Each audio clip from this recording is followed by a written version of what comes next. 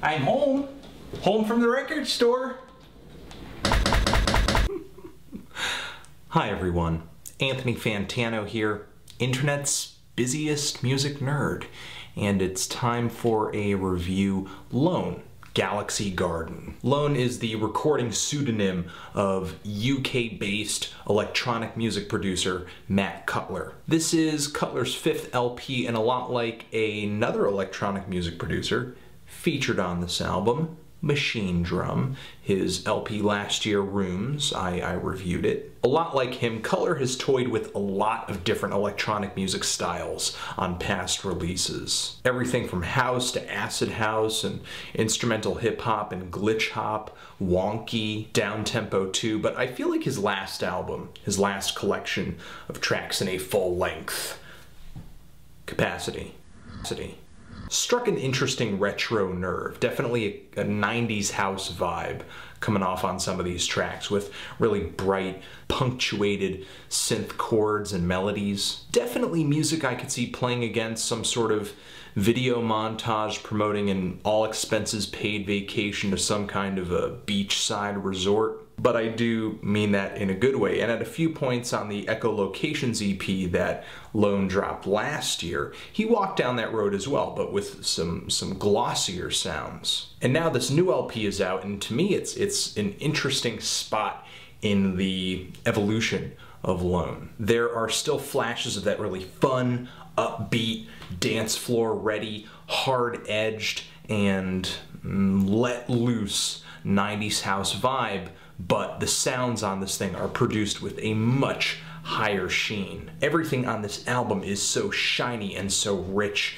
It's like a color gradient of classic cars, spit shined to spotless perfection, all kind of lined up and parked right next to one another, going on in this line.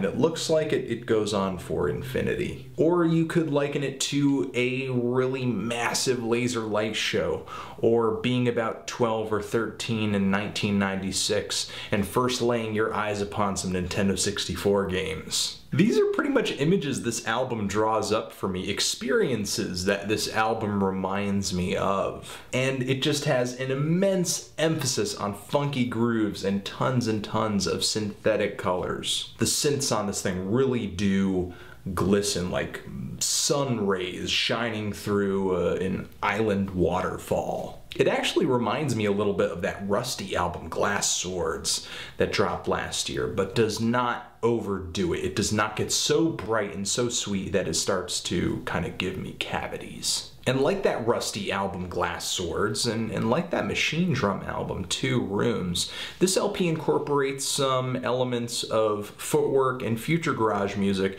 into its rhythms. It's a clear influence on a good chunk of these tracks, and it's led to some really intricate beats. As far as I can tell, this is relatively new territory for Lone, to be this rhythmically dense. And I think this is just what he needed in order to produce a new album that felt fresh, that felt fun. And I think this new direction, this change in direction, is implied with the opening track, New Color, the title. Another kind of sound or just feel that, that kind of pops up on this album for me is just this sense of being really sunny and, and tropical. And yeah, it does partially have to do with the synths, but I think it has a lot for me to do with the drums. Not only the polyrhythms they're playing, but the timbre of the drums. Listening to the drums and a lot of the grooves on this album, to me it just feels like calypso music on steroids and, and just sped up immensely. This sound does not come out too strong on some of the harder tracks on here like Crystal Caverns 1991,